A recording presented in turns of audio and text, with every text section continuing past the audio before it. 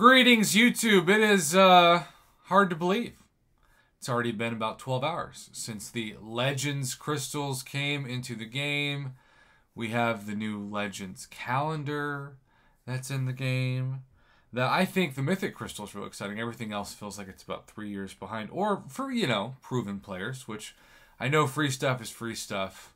I don't want to sound ungrateful, but I do think at this point in the game's evolution, progression based crystals, whether that's the seven hour crystals or the calendar, especially the cutoff is, say, Cavalier.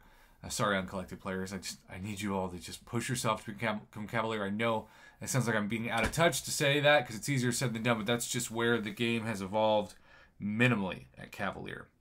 Uh, with that being said, we have in our now red mail a reminder of the legendary triumph that was the free crystal that we got today, right? We could go for the HQ Sean crystal featuring Toad. We could go for the Brutal DLX crystal featuring Wong, or the Not Cool Penguin crystal featuring Nimrod. And Mama Bear and I both got, and it was for me, the first one I think I've opened all year, Six Star Nexus. And we both got incredible Science Champions. In fact, according to my latest July tier list, I got the number four Science Champion in Spider Man 2099. She got the number one Science Champion in Human Torch. Both of them, I believe, though, were already awakened. So we added 20 more SIGs, which is still an amazing pool. But some of you who thought to themselves, let's just look at the odds. Notice some things that I didn't. And shout out, as always, to my man Brian Shadowstrike for keeping me updated on these posts, especially now that I am back to teaching and recording videos after working all day at midnight. So, legendary Triumph Crystals drop rates. Not all heroes wear capes, and in this case, Andre98 is speaking up for those of you. And by the way, I, I know people who got six star Wong from this. I know people who got a six star Nexus, who got a good five star, another six star. So, talk about a chance to double dip. What do you mean by double dip? Well, let's read the forum post, shall we?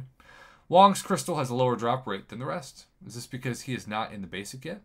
Why is this not mentioned? Is this a bug or intended? Please make clear why. It's a respectful post. It's a it's a fair question, right? You think all drop rates should be the same? Typhoon says Wong is currently in the featured pool and the others are not. So that seemed to be his justification. Dr. Zola, well, that stinks. Wong Cav was the only one I wanted. I like that he signs it Dr. Zola, even though you can see his name's Dr. Zola. Seems a little repetitive, but you know maybe you just want everybody to know your name. I don't know. Summoner in R, Brutal DLX's version Wong is featured does indeed show lesser featured percent drop rates. Note this was given to uncollected and below. So this was, of course, progression based, even though the seven hour crystals and the uh, login uh, login doesn't appear to be. Were these the same rates as when their uh, crystals were originally released, and so maybe just reuse their existing crystals instead of making new special ones for this giveaway?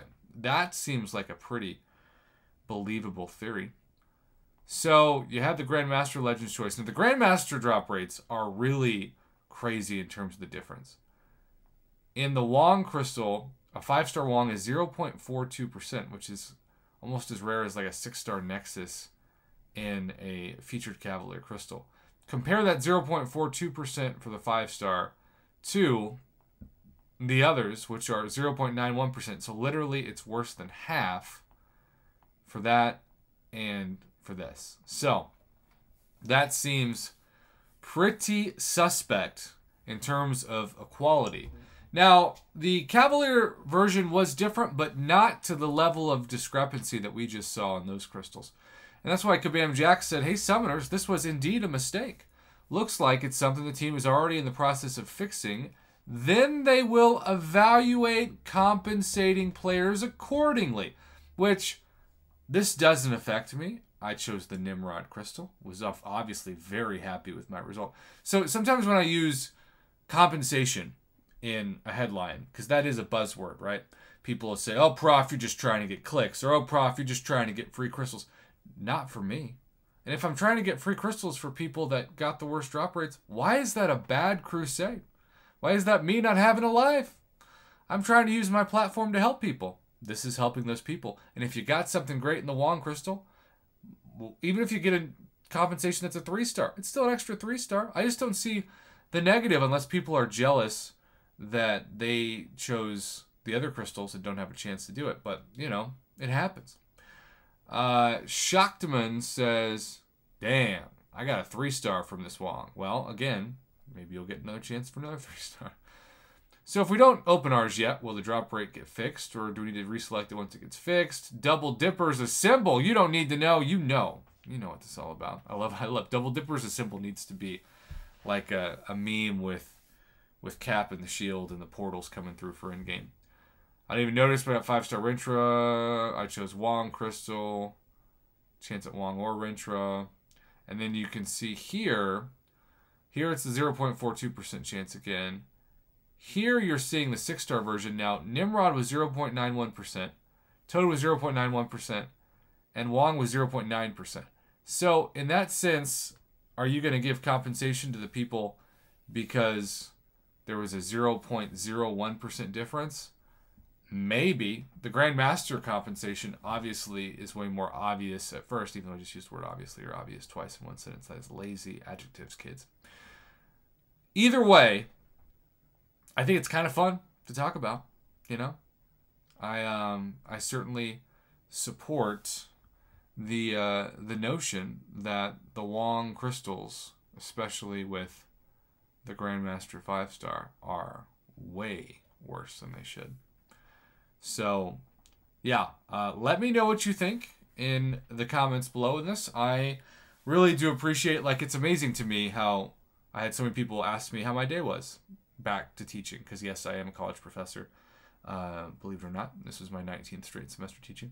It's nice to be back. I haven't taught in like four months because we got out at the end of April, and it's now, of course, mid August, actually almost like late August. But at the same time, YouTube is such an amazing part of my life too that it's nice to have both. It just is. And it's nice to teach classes where people want to start their own YouTube channels and do everything from helping people budget for equipment to editing videos to obviously uploads and such. And even thumbnails. You just never know. Thanks for watching YouTube. Have a good one. And thanks again to Brian Shadowstrike for sending this my way.